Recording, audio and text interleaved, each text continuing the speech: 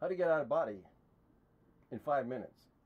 Now, what I mean is, how do you get out of body, right? And I'm going to share with you in five minutes how to do that.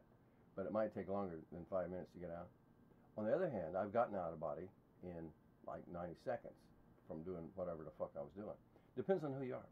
Okay, so yeah, and this uh, these teachings, teachings, this show is sponsored by RichWest.net. The teachings of Rich West. yeah, 50 years of experience shared with you. anyway, okay, here we go. I'm going to start the timer and we're going to talk about out of body experiences. Okay. So you want to get out of body. There's two different ways. We're going to talk about the first way first. It's the, basically the Robert Monroe sort of way. And it has to do with you staying awake while the body's asleep. Now, that's the phase shift. You will be out of sync with physical world, but you may still be laying in the bed, in your astral, in your physical, and now you still have to do a separation technique. So we're going to talk about this technique. We're going to talk about another technique where you go fall asleep and wake back up again later and get out of body. But that's later.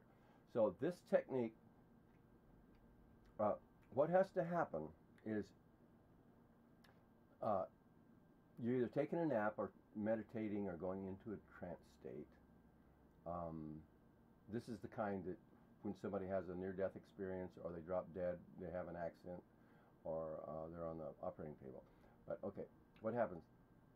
Body's going to sleep.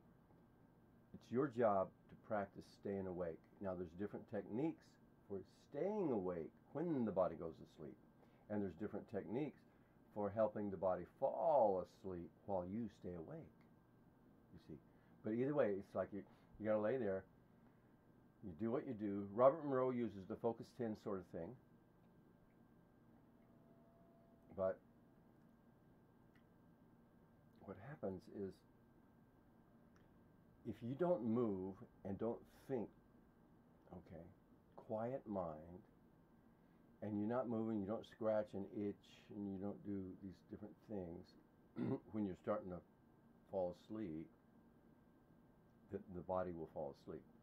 So what happens on a more detailed level is uh, normal sleep, you start getting snoozy, and you stop mm, thinking at a high rate, you know, at beta.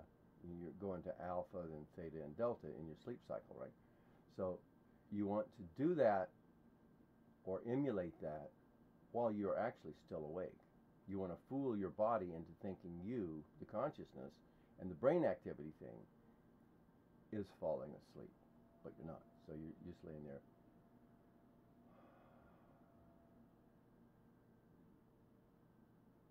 relax. That's why the Robert Monroe uh, Focus 10 thing works. And you can get that Focus 10 thing for free somewhere. Anyway, mm, the idea is the body will think that you fell asleep first. See, the body's got a rule. It won't fall asleep until you fall asleep. Because that's not right. you know, it's like you're standing here and your body falls asleep on you. No. Nature has sort of taken care of that where you fall asleep spiritually first, and the body instantly falls asleep. Uh, that's normally how it works. Uh, so, as you're staying awake and the body's falling asleep, the body's frequency is changing. It's the way it vibrates uh, in consciousness. Um, it changes. See, you and the body are in sync right now and when you fall asleep together, you're in sync. Okay, what can happen? You get the vibrations, and they're really intense vibrations. Uh, this is kind of a sense and feel of your body changing frequency as it's going into sleep mode. It's changing its frequency vibration stuff, and the brain itself, biological brain, is changing frequency. But you're not Normally, you would be changing frequency too, but now you're not. So now you're staying wide awake, the body's changing frequency, and now you're feeling it. It's like if you're in the same, if you're vibrating the same way, it's in sync. If you're going like this, if you're vibrating one speed and the body's going uh, like that, it's not only is it out of sync vibrationally, but it's going to be like a vibration. You're going to this way you're not going to feel the, the vibration, right? So you get that sleep paralysis, and uh, that's just you disconnecting because the body and you are now frequency change. So now you've experienced uh, mind awake, body asleep, body fell asleep, you stayed awake, and you feel the intense sleep paralysis. Uh, I mean, the vibrations, and then the sleep paralysis thing happens, and that's just you disengaged from the physical body. Uh, now you're just laying in the bed.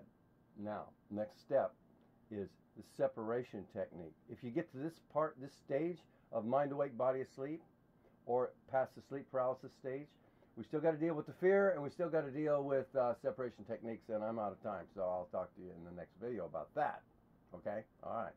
Talk to you later. Bye bye